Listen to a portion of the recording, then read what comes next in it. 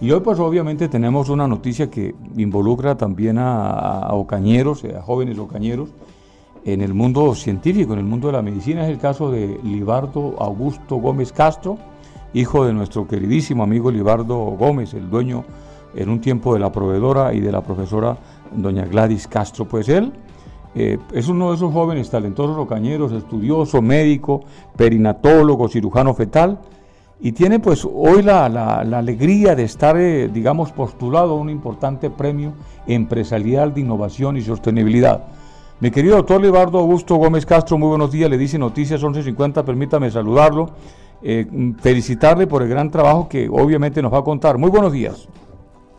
Eh, buenos días, María Alfonso, muchas gracias por tu llamada y bueno, un placer siempre tener contacto con nuestra región y con nuestra gente ocañera eh, extrañando mucho y, con muchas ganas de, ir a visitar la tierra.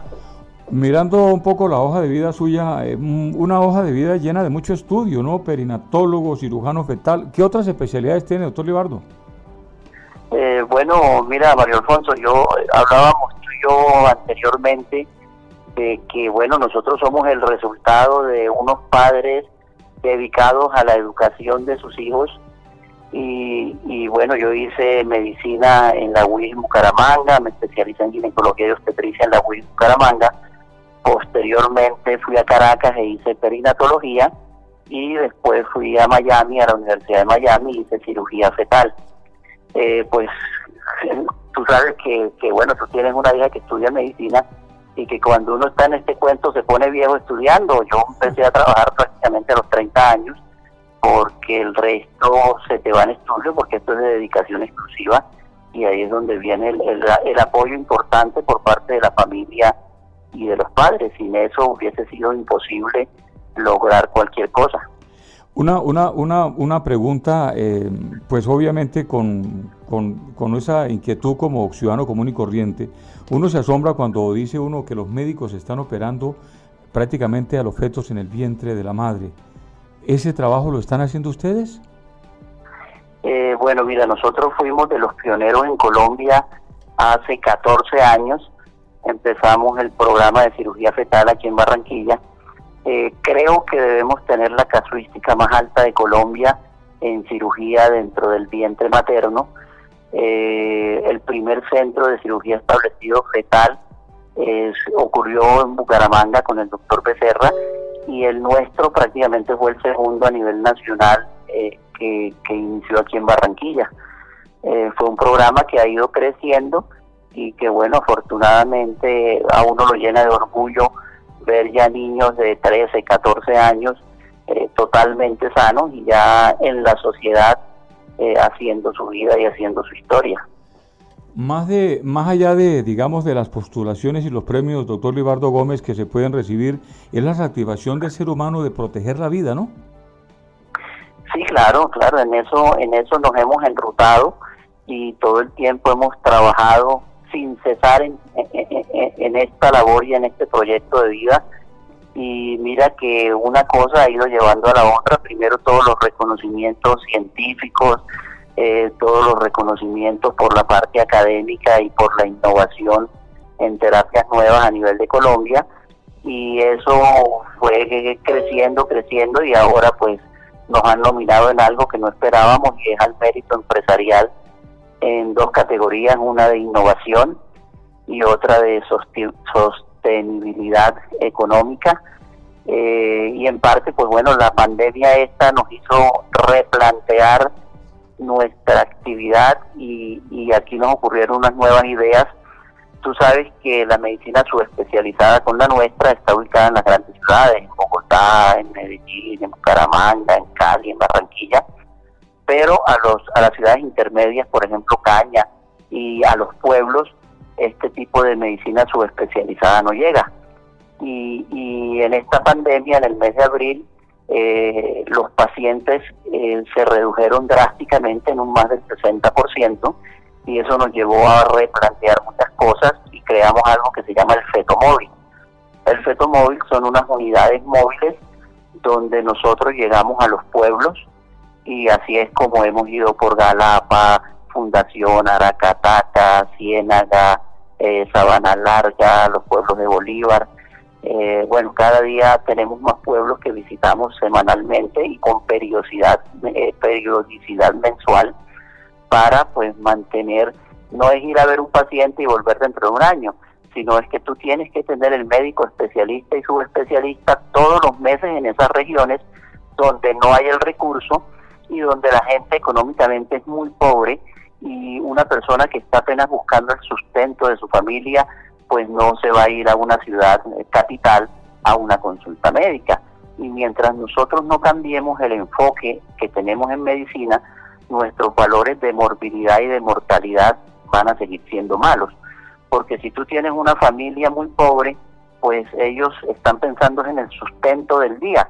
La salud para ellos no es algo primordial si tú llevas al especialista y al subespecialista a las regiones y a los pueblos, pues vas a contribuir a mejorar la calidad de vida de esas personas.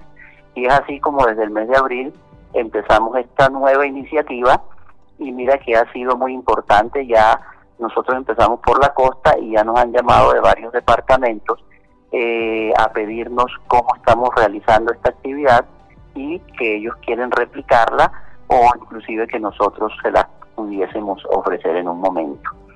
Eh, no es fácil porque tú sabes que hay que mover gran cantidad de equipo, de personal, de especialistas y bueno, uno es de pueblo, uno es eh, relacionado al campo, al pueblo, pues para mí es muy fácil ir a cualquier sitio, pero tú sabes que hay muchos especialistas que no han salido nunca de la ciudad y convencerlos a ellos para movilizarlos es más eh, dispendioso. O sea, esto es algo como, como lo que tú conoces de Médicos Sin Fronteras, pero nosotros lo estamos haciendo con las mujeres embarazadas y lo estamos haciendo con periodicidad mensual. ¿Qué quiere decir eso? Que si dentro de nuestra ruta eh, elegimos a Ocaña, elegimos a Río de Oro, quiere decir que todos los meses vamos a ir a Ocaña y todos los meses vamos a ir a Río de Oro, porque en la periodicidad y en la constancia es donde se logran cambiar los valores de morbilidad y mortalidad perinatal. Una visita de un especialista a un sitio esporádica prácticamente no sirve para nada. O sea, no se debe realizar porque no hay un seguimiento y, y no puedes evaluar el trabajo que estás haciendo. Pues eh, me agrada mucho escuchar esa, esa digamos, eh, manera práctica como usted relata el trabajo que adelanta. No es simplemente cumplir como con una agenda y, obviamente olvidarse los pacientes. Usted tiene una empresa que se llama Unifetal. Eh, sí, Unifetal fue la empresa que surgió eh, a raíz de nuestra actividad.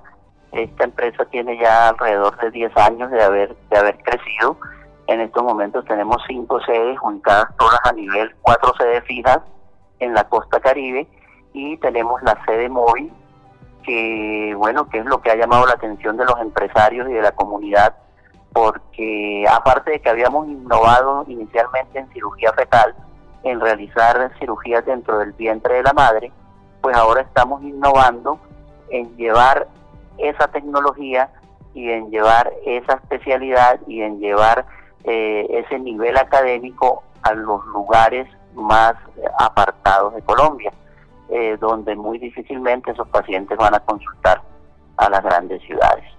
Entonces estamos innovando no solo lo que hicimos en grandes ciudades, sino que estamos llevando esa tecnología a las regiones.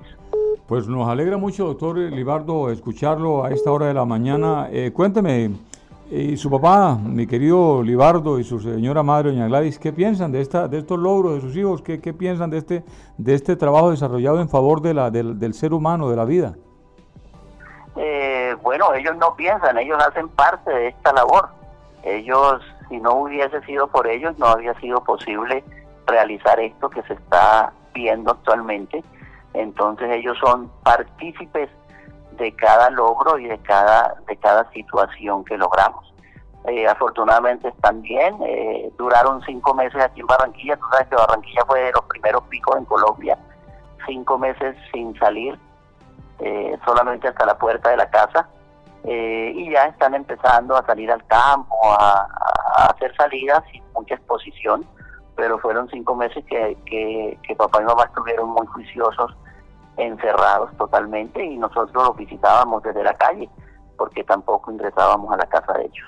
Qué bueno poder tener... Y bueno, Sí, no te iba a decir, Libardo, que qué bueno poder tener eh, esos servicios a nivel del norte de Santander, a nivel de Ocaña, que se pudiera lograr un contacto para que estos, eh, estos grandes avances científicos lleguen a, a tantas mujeres, a tantas familias que de pronto requieren esa importante ayuda, ¿no?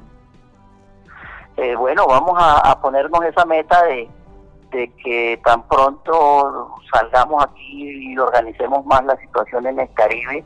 Eh, uno de los primeros sitios que queremos visitar es Ocaña y, bueno, la región del Catatumbo y toda la región del norte de Santander. Eh, igual esto es una labor que se hace en compañía de promotores de salud, de los alcaldes, de las secretarías de salud, o sea, esto tiene un engranaje eh, bastante grande, bastante complejo, pero que en el momento ya está todo el personal eh, idóneo para hacerlo y ya cuando todo está organizado, pues los especialistas llegan a su sitio y, bueno, cuando vamos a Caña, eh, me comprometo el que, en que el especialista que vaya ahí soy yo.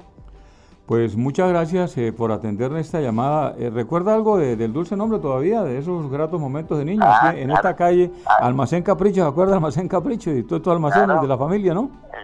El, tío Alirio, claro que sí. Y el dulce nombre, bueno, ahí fue, ahí me crié. Sí, sí. Porque eh, mi niñez y mi adolescencia la pasé en la proveedora.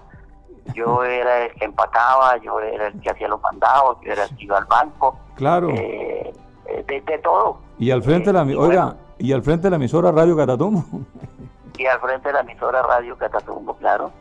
Eh, todo el tiempo, bueno, eh, la vida con la familia, con los primos y con todo se realizó más que en el barrio donde uno vivía, que yo vivía en la primavera, eh, todo el día la pasaba era en la calle del Dulce pues nos alegra mucho porque ustedes son una, una familia, los Gómez, los Torrado, una familia hermosísima que realmente vale la pena que le hagamos estos reconocimientos. Y es grato para nosotros también tener la, digamos, la, la fortuna de tener un ingeniero como es Jason Montaguz Belizola.